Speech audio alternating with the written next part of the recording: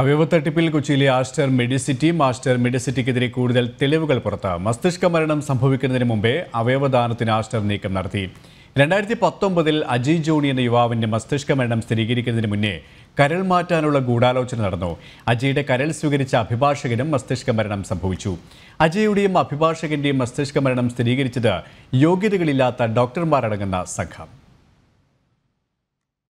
ലേക്ക് ഷോറിന് പിന്നാലെ ആസ്റ്റർ മെഡിസിറ്റിയും അവയവ തട്ടിപ്പ് നടത്തിയെന്ന വിവരങ്ങളാണ് പുറത്തുവരുന്നത് രണ്ടായിരത്തി പത്തൊൻപതിൽ ആസ്റ്റർ മെഡിസിറ്റിയിൽ നടന്ന അവയവദാനവും കരൾമാറ്റ ശസ്ത്രക്രിയയും നിയമങ്ങൾ കാറ്റിൽ പറത്തിയും ഗൂഢാലോചനയുടെ ഭാഗമാണെന്നുമുള്ള പരാതിയിൽ ആശുപത്രിക്കും ഡോക്ടർമാർക്കുമെതിരെ രണ്ടായിരത്തി ഇരുപത്തിയൊന്നിൽ എറണാകുളം ഫസ്റ്റ് ക്ലാസ് മജിസ്ട്രേറ്റ് കോടതി കേസെടുത്ത് സമൻസ് അയച്ചിരുന്നു.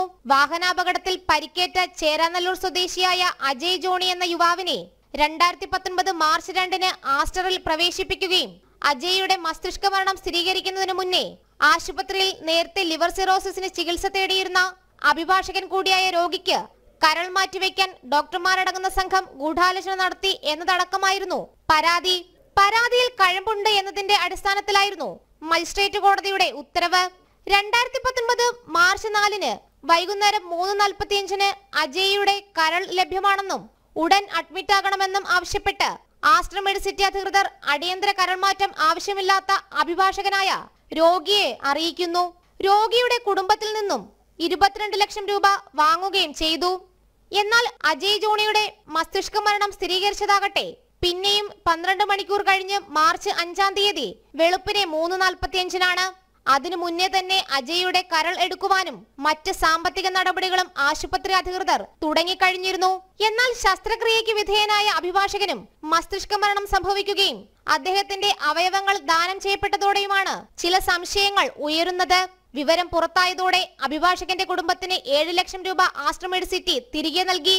അഭിഭാഷകന് മസ്തിഷ്ക മരണം സംഭവിച്ചുവെന്ന് മാർച്ച് ആറിന് ആശുപത്രി അധികൃതർ കുടുംബത്തെ അറിയിക്കുകയും അവയവദാനത്തിന് പ്രേരിപ്പിക്കുകയും ചെയ്തു.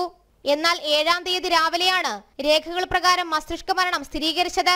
മാത്രവുമല്ല അജയുടെയും അഭിഭാഷകന്റെയും മസ്തിഷ്ക മരണം സ്ഥിരീകരിച്ചത് ബന്ധപ്പെട്ട അതോറിറ്റി നിശ്ചയിച്ച ഡോക്ടർമാരുടെ സംഘമല്ല.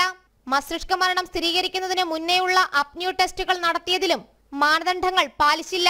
നിയമപ്രകാരം ചട്ടങ്ങൾ പാലിച്ചിട്ടുണ്ടോ എന്ന് പരിശോധിക്കേണ്ട നോഡൽ ഓഫീസറും ആശുപത്രി അധികൃതരുമായി ചേർന്ന് ഒത്തുകളിച്ചുവെന്ന ആക്ഷേപമടക്കം പരിശോധിച്ചായിരുന്നു ആസ്റ്ററിനെതിരായ കീഴ്ക്കോടതിയുടെ ഉത്തരവ്. നിലവിൽ മജിസ്ട്രേറ്റ് കോടതി ഉത്തരവ് ചോദ്യം ചെയ്ത് ആശ്രമ മെഡിസിറ്റി നൽകിയ ഹർജി ഹൈക്കോടതി വിധി പറയാൻ മാറ്റിയിരിക്കുകയാണ്. ജനം കൊച്ചി.